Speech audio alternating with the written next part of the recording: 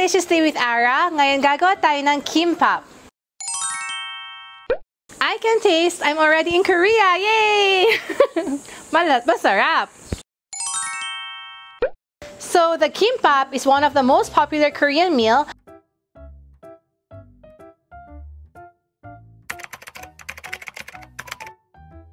that we normally prepare kung may mga picnic or outing, ito yung madalas na ginagawa namin because it's really easy to eat it outside.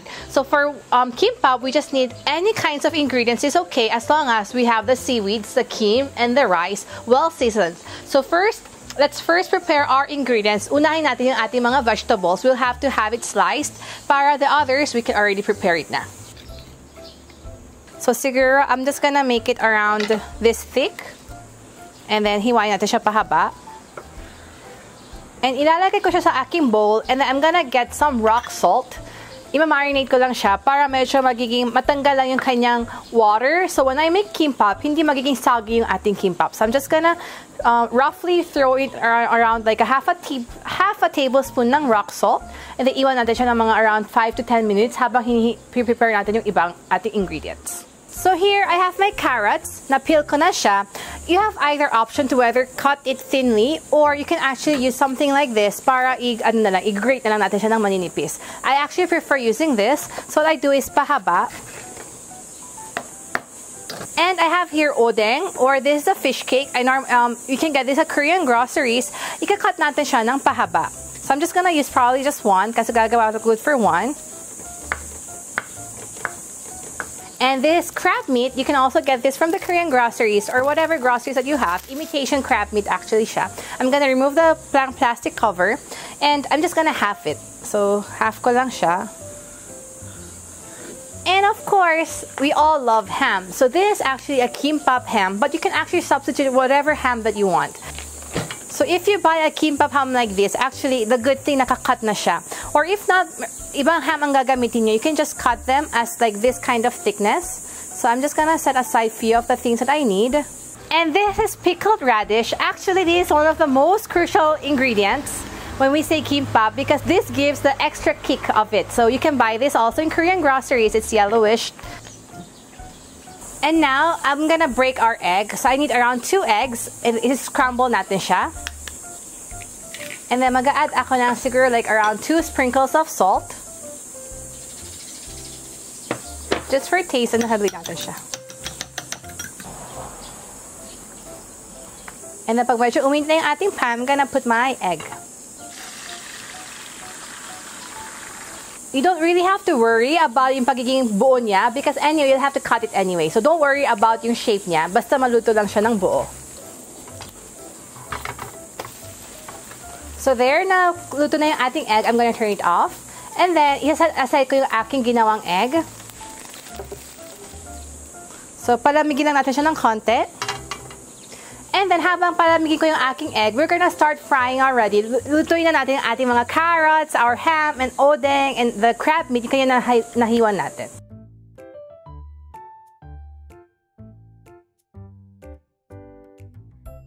And with this, just a little amount of oil, just a drizzle lang, I'm gonna cook our um, carrots. Isa-stir fry ko lang siya ng konti. Mag-add tayo ng konting drizzle of um, salt, just for taste lang. And actually, the carrots, pag init natin siya sa oil, it becomes, it brings out the sweetness of it. So I'm pretty sure even the kids would eat it kasi matamis naman yung carrots na niluluto natin. So we'll just cook it until medyo magiging parang um, uh, transparent na konti ang ating color ng ating carrots.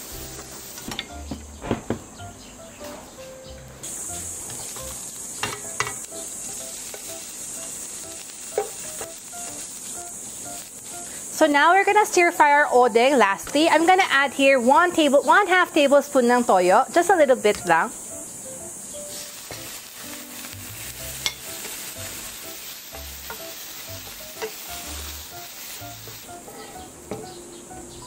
So now we have stir-fried all the ingredients na kailangan natin. At meron ako naiwan kanina yung ating cucumber na nilagyan ko ng salt. And I think as you can see, medyo naging matamlay and medyo naging soft na. Ibabawat natin siya sa water just for a rinse and it will pick up. We'll squeeze it. So, So, na i-rinse ka lang kasi baka medyo maging too salty na. And then, pipikay natin siya na just to remove the excess water. So, there we have our cucumber. Isa-set aside ko na siya sa tabi. Na maghanda na lahat ng ating mga stuffing sa ating kimbap. We're gonna now season our rice. Actually, this is the most important part of our kimbap making kasi kung masarap na yung ating season ng ating rice, masarap na yung ating kimbap. Now, I'm gonna teach you how to measure that perfect seasoning.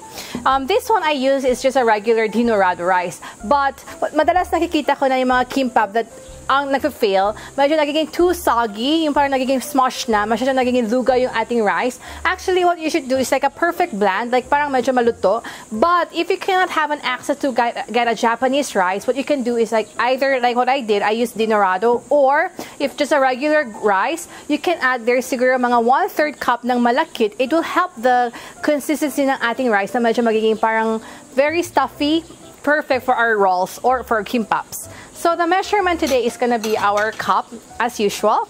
I'm gonna put like siguro one cup of rice. And I think one cup of rice is good for around one and a half kimbap normally.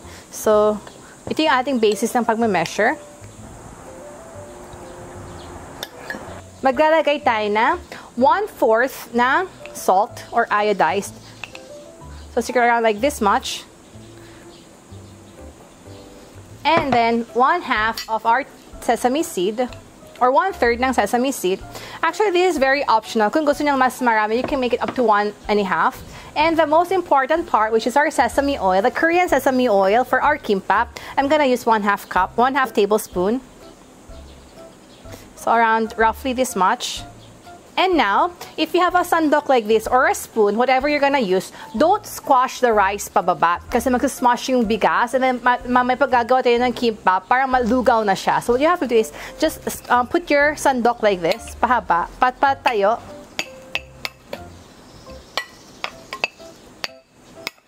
So what we have to come up with is like perfectly seasoned na rice na buo pa rin yung parang kanyang itsura. Hindi siya parang nagmudge or na parang lugaw-lugaw na. So it has to be like this. And you have to taste your rice. Now, dapat yung lasa niya talaga mas malasang malasa na because this will be the depiction of the flavor of our kimbap and the stuffings that we have prepared is just gonna be an accessories. So kung malasang malasa na yung ating rice with just kim, that's already the perfect and best kimbap tasting. So I think this is perfectly good for me. I'm gonna start rolling on with our seaweeds or kim. So this is our kim. And actually, there are two kinds of kim that you can buy, the seaweeds. This one is um, parang hindi siya roasted, hindi siya salted. So you have to buy na ganito ang itsura niya. And if you look at the sides, meron isang parang glossy and then there's one na medyo rough. We're gonna use the rough side to be inside facing you para yung glossy part na yung maging labas. And this is actually what we call kimpa. This is what we use to roll our rice our kimbap para magiging bilog na bilog siya. Now, if you don't have this, it's not really, um, hindi kailangan na maging problema. I mean, this is an accessory optional, but not necessarily.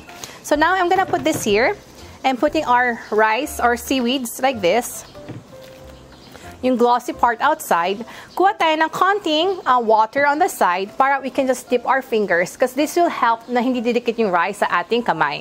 So I'm gonna get the rice na kanya season natin. And the amount of rice that we want to have it on our kimbap is the size of a baseball. Ang baseball siguro is siguro laki ng ating mga kamay.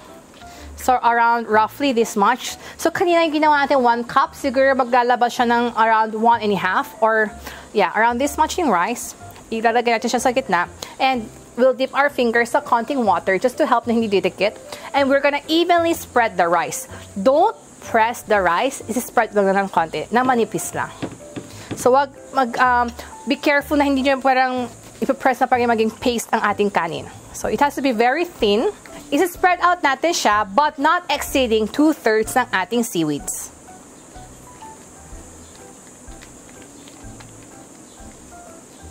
And I forgot to mention, be careful not to use hot rice. Kailangan medyo maging palamigin nyo ng konti. Kasi kung mainit yung rice ang gagamitin niyo first, mahirap talaga siya kamain. And second, um, ang ating seaweeds parang magkukripple siya. So make sure na it's a very good temperature for you to easily hold it on. So around like this, na two-thirds lang ang nilagyan ko ng aking kanin. And make sure um, na-spread out ko siya ng manipis lang. We're gonna now put in all the stuffings. These stuffings are purely your options and whatever you want, whatever your preference is. So I'm just gonna do the basic ones. I ilalagay ko na siya lahat-lahat isa-isa. Ang ating odeng, I'm gonna put around two pieces. And our cucumber, siguro also around two. And if you have this much, I'm gonna start rolling already. The good kimbap is when the kimbap perfectly ends, the, yung rice ang magkabalot dun sa loob, the stuffings, and the stuffings are centered on your rice. So, just gonna put our fingers and roll it. And as you can see, meron siyang excess. What I'm gonna do is either you can just roll it or you can get just a dip of water. Just put the water sa, sa ends niya and then bilisan niya pag-roll. And using my kimpa, I'm just gonna roll it like this to give it a little bit of parang strength para didikit-dikit siya. And here it is, our kimbap. So we're gonna make all our rolls like this.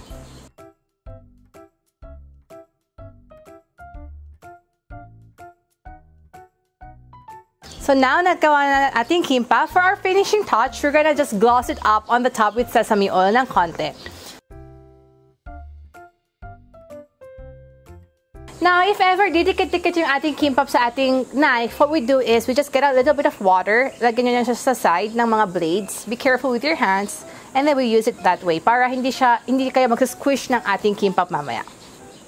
And as you can see, nasa center lahat ng ating mga stuffings and nasa gilid yung ating rice. This is what we want to have. Manipis na rice na nakabalot sa ating mga ingredients kanina. So here is our kimbap. Napaka-simple lang gawin. So for sure, you can do this at your own homes as well. So thank you again and see you next time! The best part of kimbap is actually yung mga dulo niya like this. I'm gonna preserve the yung magandang part for my family. I'm gonna eat the best part for me. So let's try. Mmm! Perfect already. One bite, you have everything already.